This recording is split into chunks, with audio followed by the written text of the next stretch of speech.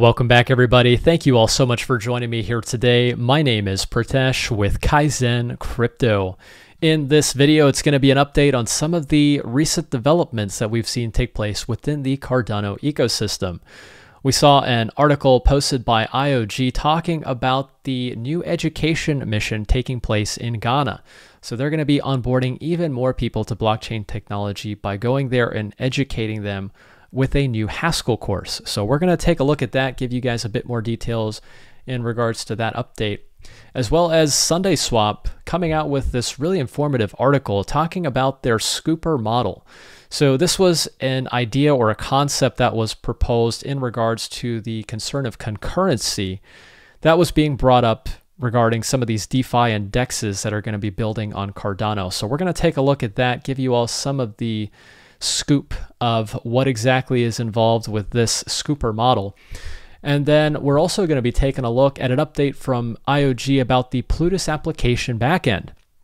So it's saying here they've just released the beta version of the PAB, and they're encouraging their developer community to try it out on the Cardano testnet. So the Plutus application is going to be something for the DeFi and DEXs, some of the applications that are going to be building on Cardano, and we'll take a look at that in this video as well. Before we get things started, wanted to say a quick happy birthday to the man himself. Charles Hoskinson is in Egypt as part of his Africa tour.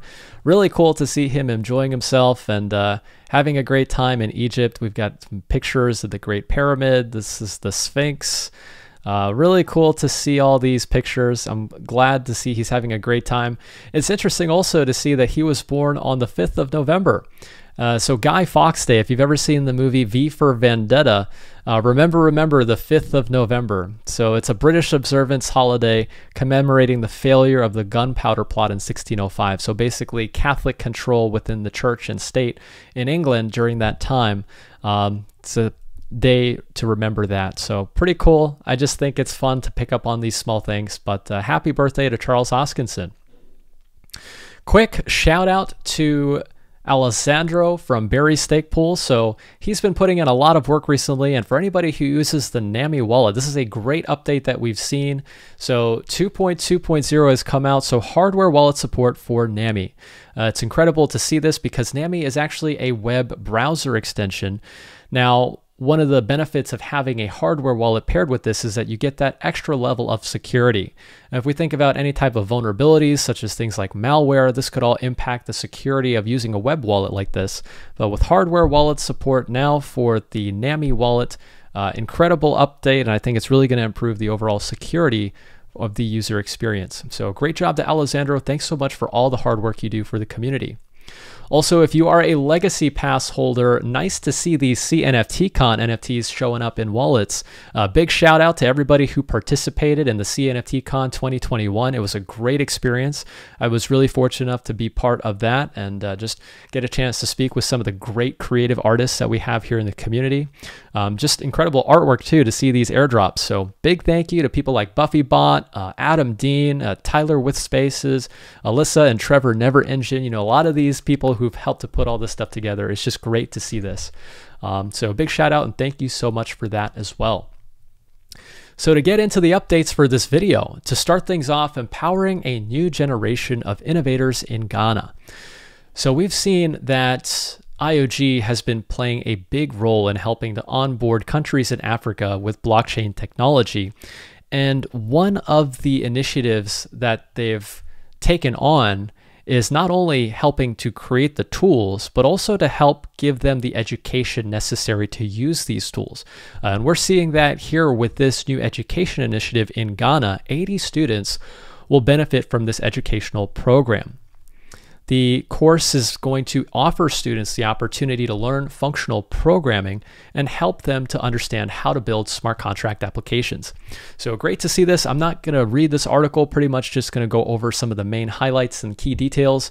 Uh, but essentially, things like this are going to be very important for driving the innovation of blockchain technology because you actually give the people who are there living it the tools to create the solutions.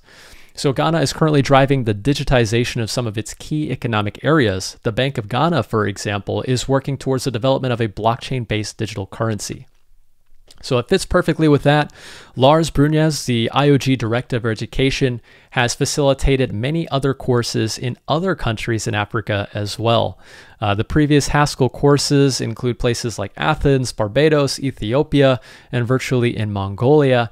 So he's been all over and he's doing a lot of great things there. He was the director of the Plutus Pioneers program. I'm sure he's going to be involved in the Atala Pioneers program.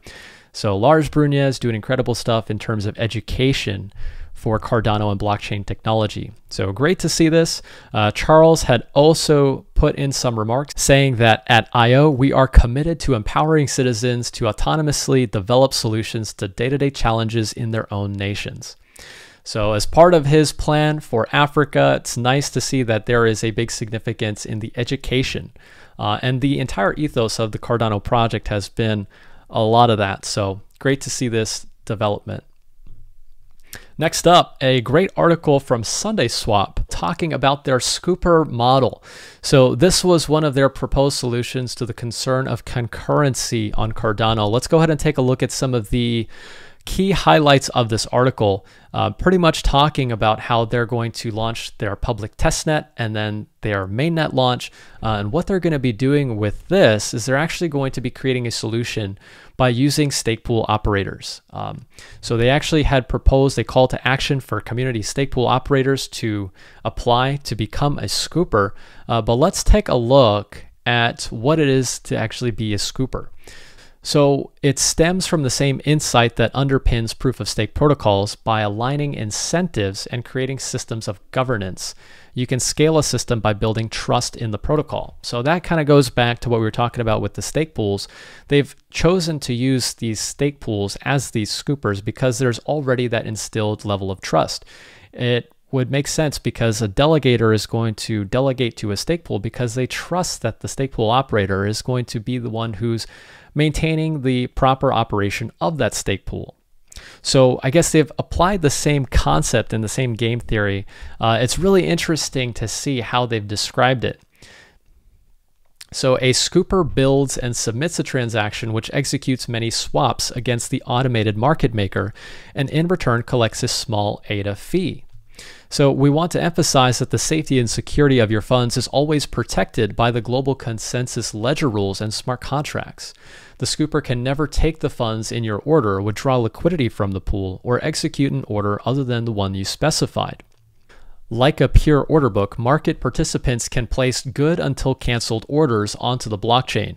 These don't require interacting with any pre existing entities and so don't suffer from the UTXO contention problems in other protocol designs. Using a programmable API, these orders can be tailored to the market participants' desires.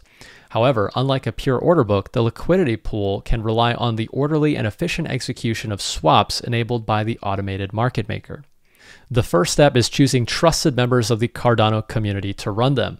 So with that, they've posted their application to be part of their ISO. We submitted an application so that Kaizen Crypto could be a part of the SundaeSwap ISO. I think it'd be great for our stake pool brand to be here and help represent the SundaeSwap team.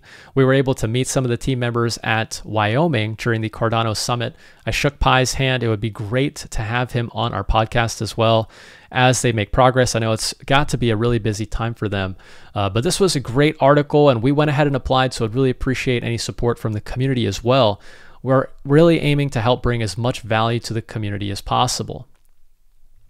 So, great article from SundaeSwap. This was really informative.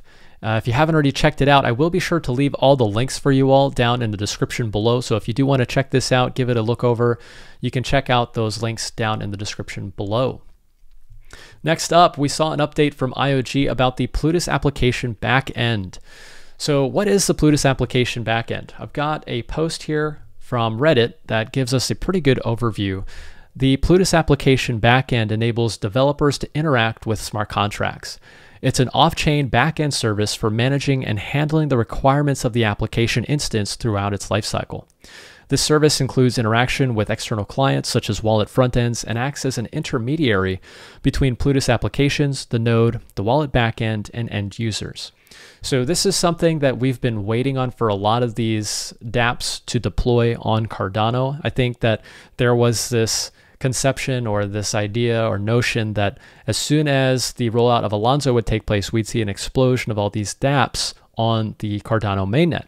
Uh, it's not necessarily the case because of things like this, but it's great to see these updates from IOG saying that today they've released the beta version of their integrated PAB and have now invited the developer community to try it out on the Cardano testnet.